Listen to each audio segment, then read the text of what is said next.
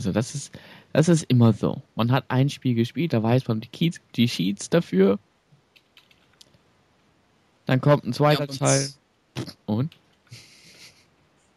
Ja, das sind ja meistens dann wieder andere Kombinationen, sozusagen. Genau. Aber ich glaube, der hat der nicht vom ersten auch auf den zweiten gepasst? Hm, könnte sein, ich weiß nicht. Wie schon gesagt, erster Teil nie gespielt. Ich glaube. Aber ich, ich fange jetzt nicht damit an, das Ding wieder zu spielen. Ich habe darauf keinen Bock. auch wenn man mich jetzt dafür drängt. Könntest dir mal in Insight zeigen. Nein! Oh. Weil da müsste ich den ganzen. Ach, nee. Hat, die Sims kann man tatsächlich nicht in einem Web-TV zeigen. Das ist. zu öde. Du könntest ja so eine WG machen. Ja, ne, eine WG eröffnen, ne, wo dann alle reinkommen, ne? Hallo, hallo, hallo. Nee, aber so ähm, jede Woche eine neue Folge oder so. Na gut, das können wir dann später diskutieren lieber. Ich glaube, ja. Da gab's doch mal auch so bei im Fernsehen, der hat doch auch mal sowas gemacht, ne? Mhm, Im Fernsehen. Im Fernsehen, das Zu war einem gewissen Sender. ja zum gewissen Sender, genau. Und nein, wir sind der Sender nicht, aber ihr könnt gerne bei uns bleiben. Genau. Ja. Also, was hältst du eigentlich vom Cheaten? Also, Cheaten ähm, ist für mich eigentlich pures No-Go. Wenn es offline ist, wenn es in Spielen ist, die, die man so oder so eigentlich mal gerne spielen möchte und dann auch mal wirklich richtig spielen möchte, dann sollte man es vielleicht tun. Hm, ja. Ich finde es auch eher negativ, besonders im Online, im Offline finde ich es noch gerade mal verkraftbar, sagen wir es so. Mhm. Beziehungsweise gab es ja auch mal eine Debatte, also eine von der Spielerschaft her gesehene Debatte von Call of Duty Modern Warfare. Da soll es ja anscheinend so viele Cheater geben, ich weiß es ja nicht. Ähm, das, das wird bestimmt so sein, ähm, aber, die, aber die nutzen natürlich gerne einige Lücken aus. Genau, da gibt es ja auch anscheinend einige Programme, die das dann vereinfachen. Mhm. Da Hm. gab's Und ja- jetzt soll es ja, habe ich mal irgendwo gelesen, ähm, nach, weiß ich nicht, eineinhalb Jahren nach dem Release jetzt endlich so einen Cheaters-Schutz geben auf den Servern. Habe ich irgendwo mal gelesen. Uh, das wird vielleicht was Gutes sein.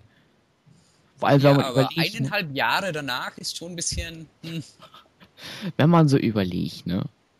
Weil Als Beispiel jetzt EA mit ihrem Titel FIFA 11.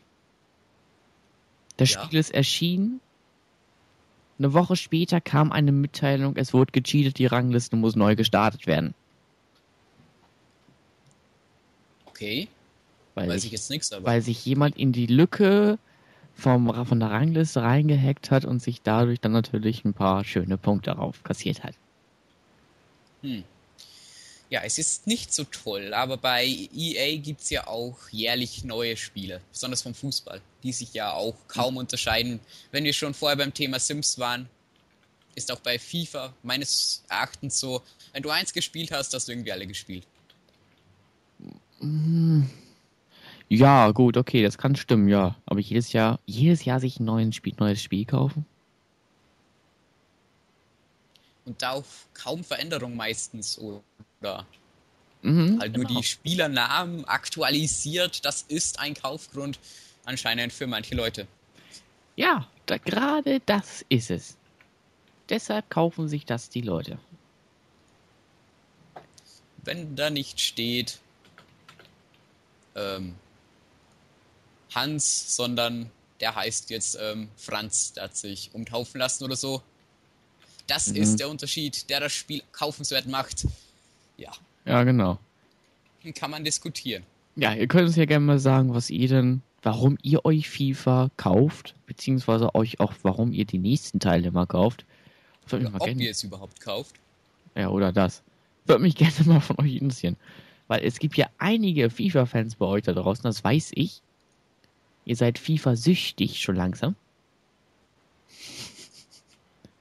Also schreibt uns das mal gerne. Wird uns mal gerne interessieren. Ja. dann sind wir jetzt eigentlich auch schon mit unserem Hauptthema fast durch, oder wie viel Zeit haben wir denn noch? Wir haben, wir haben doch ein bisschen, also Zeit haben wir immer noch ein bisschen. Wir können immer noch ein bisschen Zeit auch dranhängen. Also ist ja nicht das, ne?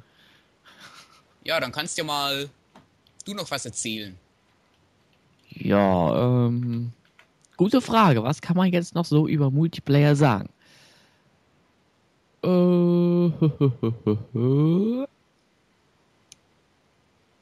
was, ähm, ba, ba, ba, ba, ba. was meinst du denn, ähm, wo sollte man denn hundertprozentig mal einen Mehrspielermodus einbauen? Äh, ähm, hm. Gute Frage. Ja, ne? Ich würde Mehrspielermodi in fast jedem Spiel, ehrlich gesagt, würde ich mir einen Koop-Modus parallel zu der Hauptgeschichte wünschen oder so zumindest als Nebenfunktion. Am besten wäre es jedoch, wenn man jederzeit einsteigen könnte, so richtig ins Spiel als Freund. Das wäre schon cool. So wie es Fable macht. Ja, gut, okay. Da kann ich mir bestimmt vorstellen, das iPhone bei der Multiplayer-Unterstützung. Ja, okay, das iPhone. Ja gut, die billige Variante HTC. Oder Samsung. Okay. Wir wollen ja auch für unsere Leute, die kein iPhone besitzen und iPhones nicht mögen oder die Marke Apple, auch die normale Variante geben. Hm. Ja.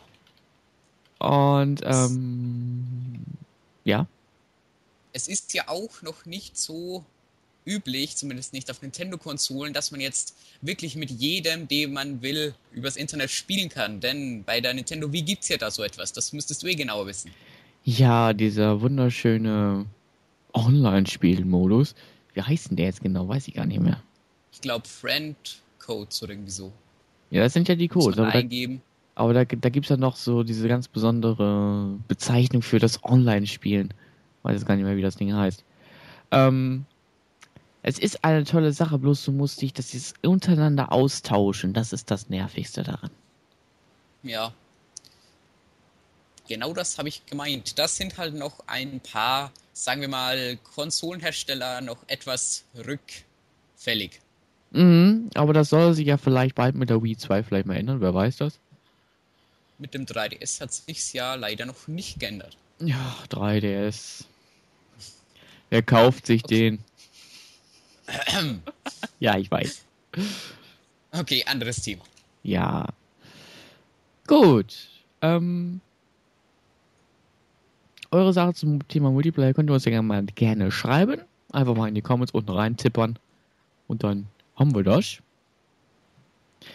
Und wir wollen jetzt mal ganz kurz zu der Release-Liste kommen für nächste Woche. Uh. Ja, da gibt es was ganz Interessantes, nämlich ähm, Eastlands of Wakfu. Was? Ja, Eastlands of Wakfu. Eastlands of Wakfu, ah ja. Ach. Ist ein Arcade-Titel auf der Xbox 360, nur mal so. Okay, das muss nicht jedem was sagen, oder? Nö. Es erscheint aber.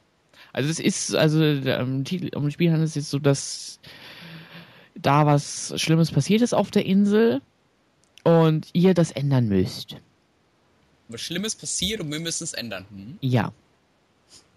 Also ihr müsst die Geschichte jetzt dann wieder neu, also ein bisschen anders dann weiterschreiben. So, dass es so besser wird.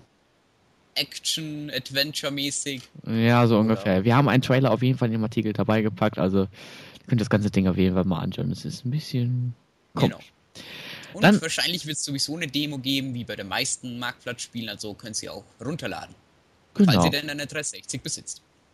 Ja, Du besitzt ja eine, David. Ja, genau. Vielleicht schaue ich es mir mal an. Ja. Wenn du es noch hinkriegst, kannst du davon ja mal ein Gameplay machen. Hm, ja. äh, ist ja. halt ein bisschen blöd. Ich habe ja keinen Videocrabber oder so Zeugs. Ach ja, stimmt ja. Müsste ich ja mit meiner Handykamera abfilmen. Oh, nee, nee, nee, nee, nee, nee, lass das bloß. Nee, nee. Ähm, dann gibt's noch was ähm, für unsere Simulatorenfreunde wieder was Neues. Hafen 2011. Wow. Die Hört sich wirklich spannend an. Ja, ein Hafensimulator. Was man da machen muss, ich weiß es nicht. Ich habe es mir auch nicht angeschaut. Nach Hits wie Müllabfuhr-Simulator und Gabelstapel-Simulator kommt jetzt auch der Hafensimulator. Genau. Bald haben wir dann 2012 und dann kommt wieder der Omnibus Simulator und so weiter. Genau. Was haben wir denn noch Schönes? Wir haben Gothic 4 für die PlayStation 3. Jetzt erst. Stand so drinne, offiziell. 360 ist, glaube ich, schon erschienen, aber PlayStation 3 Ja, jetzt schon erscheint. sehr lange. Aber Gothic 4 ist ja auch nicht so das Top-Spiel, möchte ich mal sagen. Ja, gut, okay. Das stimmt. Es ist ein bisschen anders. Und ein bisschen buggy. Was haben wir denn noch Schönes? Ähm, die Webbles in 3D. Juhu. Die? Die Webbles. Oh. Da fro- Ja, Rabbits weiß ich ungefähr so viel, also null. Oh. Ich weiß nur, dass Rayman, also früher mal wirklich ein Rayman, also ein Jump'n'Run-Spiel war und dann halt irgendwie zum Partygame überging. Genau. Und diese kleinen süßen Hasen versuchen da mal wieder ein bisschen die 3D-Welt nur ein bisschen mal unter die Schippe zu nehmen. Ich Und- schätze mal auf dem 3DS. Natürlich, wo dann worauf denn sonst? Sonst wird es ja kein 3D sein. Und ähm, da gibt's als, also wir als Presse haben das vorhin schon mal, also als das Spiel schon angekündigt war für den 3DS, ähm, haben wir Pressematerial von Rabbits 3D bekommen. Und da gibt's ein Video davon, das ist wirklich geiles Video gemacht worden. Leider dürfen wir das ganze Ding nicht veröffentlichen, weil es nur Presseleute besitzen dürfen.